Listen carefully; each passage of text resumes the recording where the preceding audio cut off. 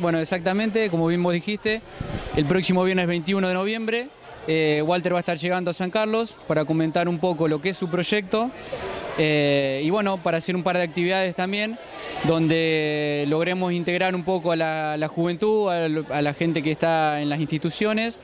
para fomentar un poco lo que es el deporte, eh, la salud y bueno, también todo lo que sean los gestos solidarios y un montón de valores que por ahí están haciendo falta en nuestra sociedad, ¿no es cierto? Bien, para quienes no conocen, ¿qué es una locura solidaria? ¿De qué se trata? Bueno, una locura solidaria aguantó, eh, arrancó justamente con Walter una travesía que hizo de 2.500 kilómetros, que unió eh, Brasil,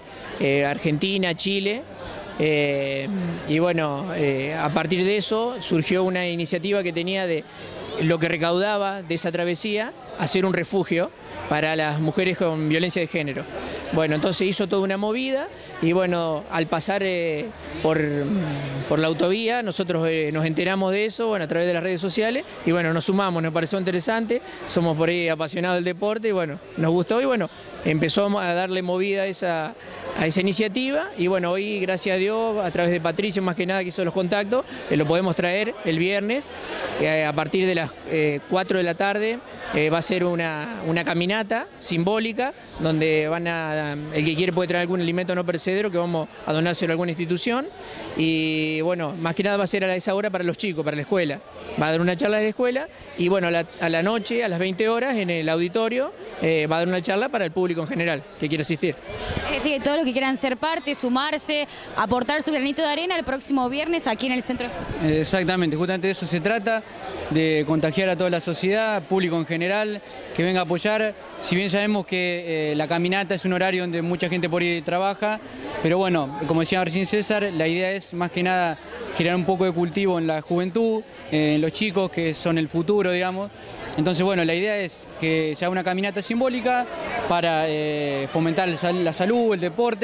y, bueno, recaudar algunos alimentos para alguna institución local.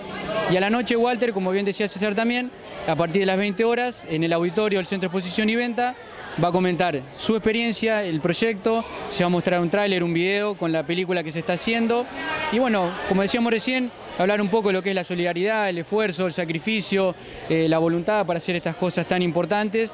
Y como decíamos recién, la, esencia de todo esto es por ahí contagiar, contagiar a la gente, eh, que se involucre también en causas tan nobles como esta. Y bueno, yo creo que mm, nosotros desde un humilde lugar tenemos que aportar y gente como esta hay que apoyarla porque son las que realmente van a generar un cambio en nuestra sociedad que tanta falta está haciendo, ¿no es cierto? Y estuvieron todo el fin de semana, sábado y domingo, aquí promocionando el evento en la feria. Sí, esa era la idea, promocionar, estamos con unos folletos repartiendo a la gente que viene a la, Feria del Libro y bueno, eh, ya agradecerle al, público que, nos acompañó, que se hace presente y bueno, esperarlo con gusto eh, para la caminata y también a la noche en el auditorio que seguramente va a ser muy lindo, muy interesante verlo.